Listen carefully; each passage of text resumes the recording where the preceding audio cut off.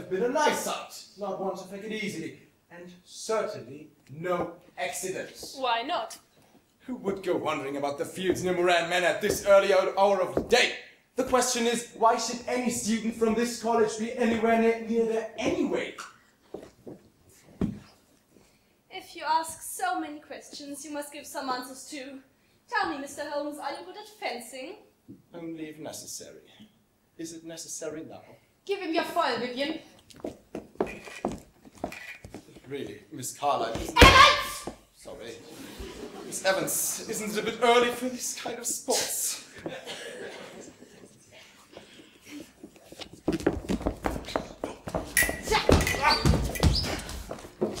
Mr. Holmes.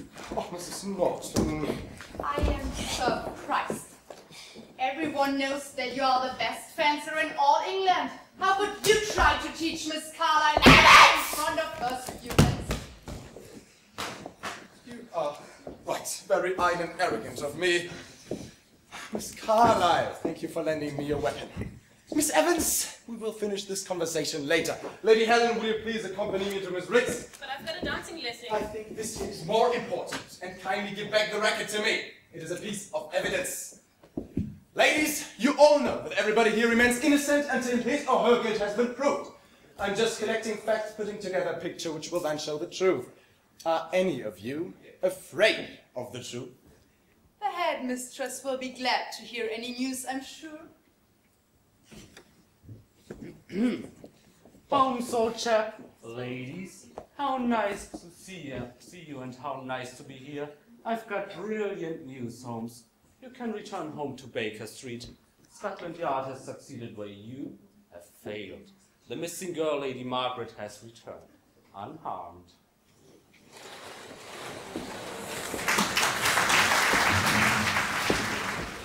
Constable Oats has succeeded where the famous Sherlock Holmes has failed. Lady Margaret was discovered by this brave and disciplined country constable. Constable, please report what happened.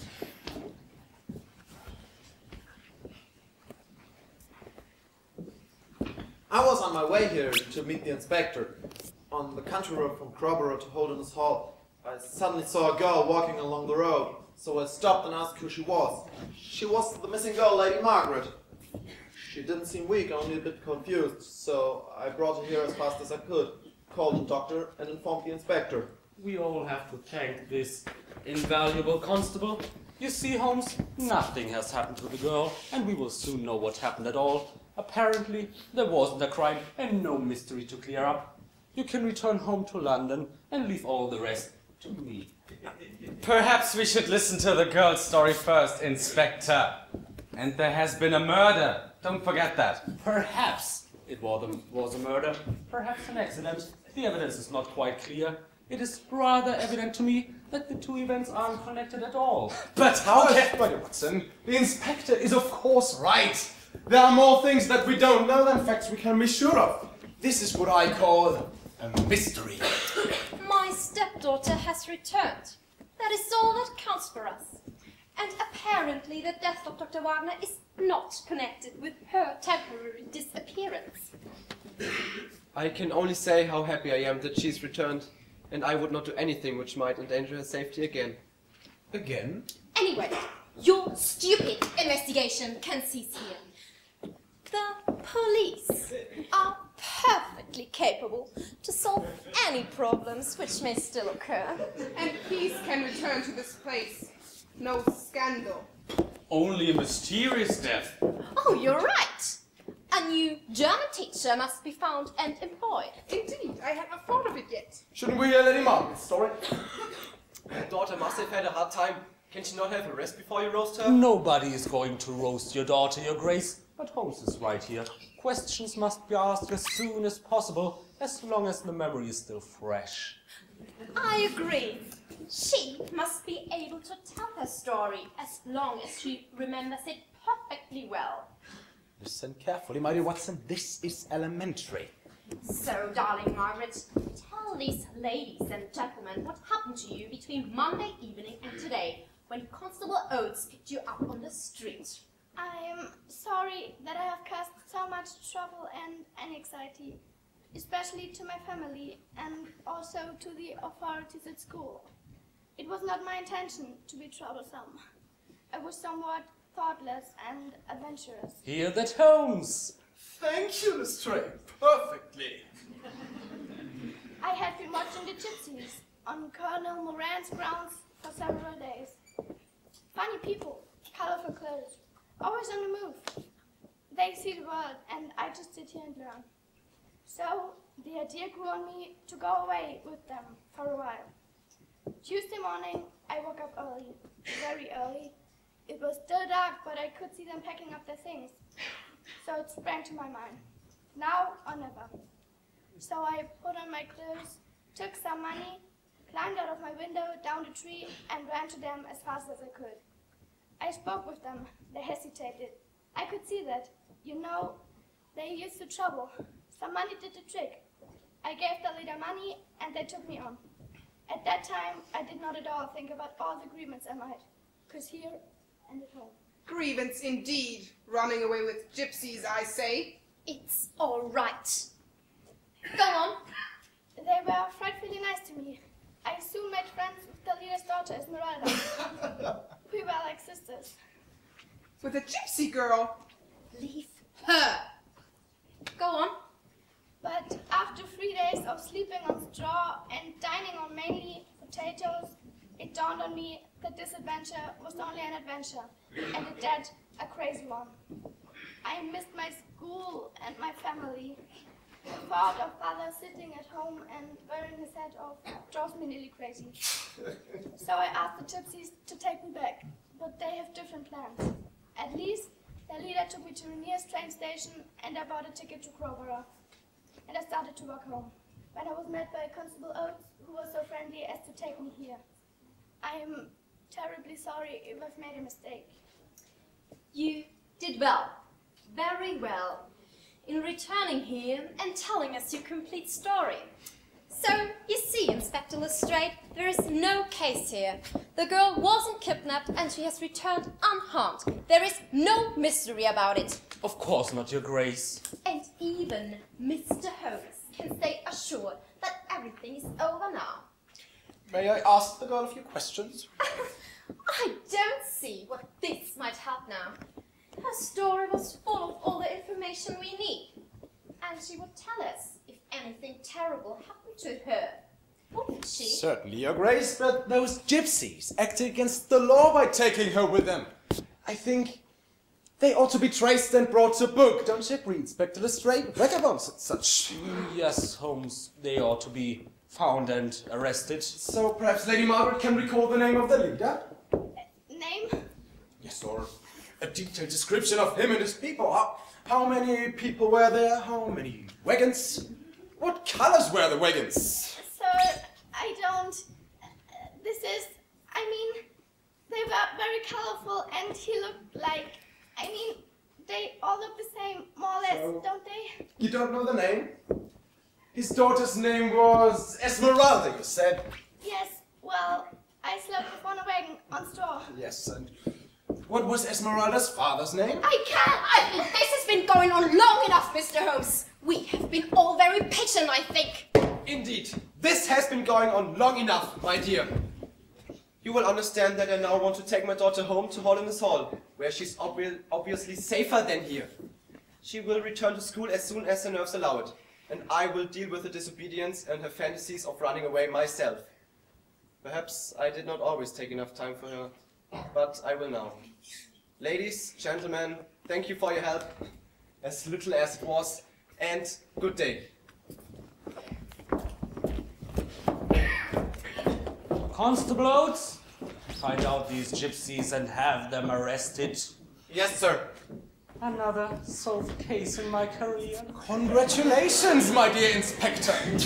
Do you really think so, Holmes? You heard the Inspector.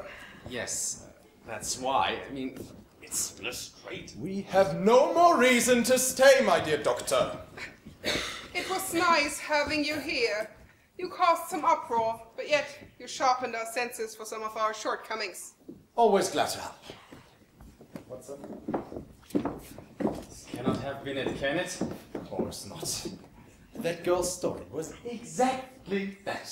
A story invented to get us off the track. Did you notice her tone when she was telling it? And did you see her clothes? Much too clean and nice for a girl that has slept rough for three days in a row on straw. And of course, the other girl's name was Esmeralda. How ridiculous! Her friend probably is the hunchback of Notre Dame. and even didn't know the name of the leader. The whole story was a lie. That's why and how. I must return to London to make some investigations which will help us on. My going away will put everyone here at ease again. And then they make mistakes. This is why I want you to stay behind. Just take a room at the village guest house, enjoy long walks, and note everything dark that happens at the school. We will have two brilliant informers inside. You mean Miss Beckenham and Mrs. Norton. I understand Miss Beckenham is taking quite a fancy to you. she's a very nice person? Indeed. So perhaps you may want to go out with her while you're staying behind? How long will you be gone? I don't know yet. I must investigate a few things, ask people of dubious reputations, questions about other dubious characters. It may take some days to find the right contact, you see. The thing about Colonel Moran living next door worries me immensely. So you think he's still... But of course. You never leave the organization once you're inside, and he's the most dangerous criminal in England. He's a professional killer with no hesitation at doing his work. A perfect shot at that. So you think he has to do with the case? Did he kill Dr. Wagner? It's too soon to answer your questions. Just stay on your guard and telegraph to me as soon as anything mysterious happens. My dear Watson, these are deep waters.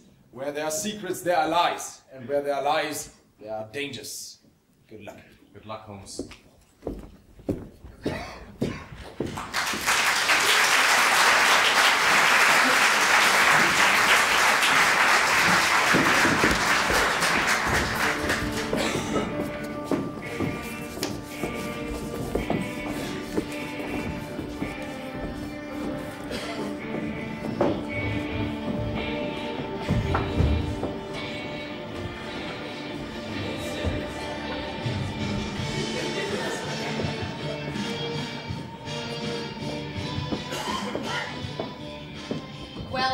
True? It seems so. I sent one of the girls after him to make sure that Holmes really took the train to London. And what about Watson and Lestrade? Watson is staying at the village guest house. He's got a rendezvous with Miss Beckenham this evening. Apparently he's fallen in love with her. How sweet! But I don't believe it. Neither do I. It's a trick. He's staying behind to keep an eye on us. Holmes still believes that one of our girls killed Wagner. Thank God he hasn't got any proof for it. It seems he has got some proof. What? How? Apparently, there were some blue splinters from Lady Susan's racket in Margaret's head wound. Watson pointed the matter out to Lestrade. So this is why Lestrade is lingering on, says he wants to fix some loose strings. It is all a trap for us. And they suspect us. They know it was me. We are done. Nonsense. They have no idea of the greater plan or dimension of this plot. They think it was just a kidnapping, with some blackmail perhaps, and a teacher who accidentally died because, because he got into the way. What more can they suspect? I don't know, but I have a very bad feeling. Hush. I hear someone coming. Norton, Holmes' special pet. Perfect. What do you mean? We lay a trap for them. Leave everything to me, just act along and as naturally as possible. Come back here, Evans. So, we can be sure that he's gone back to London. Lestrade will leave within an hour, and Watson is just a senile idiot. Our way is free. And what is next? Let's meet tonight and talk about the final steps of our plan, where no one will listen to us. A safe place. And what have you got in mind? Uh, none would dare follow us onto Moran's grounds. Do you know his apple tree garden? That little bench under the old tree? Perfectly well. And what time? Two o'clock, when everyone is asleep. Then we will finish it all.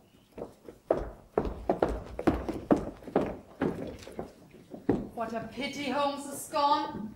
He would know what to make of this. Perhaps they heard me come and it's all a trap, but certainly not for me. Anyway, I must tell Watson what I overheard. He can then decide what is best to be done. He is experienced and clever after these adventures with Holmes, and he was in the army. He will know what's best.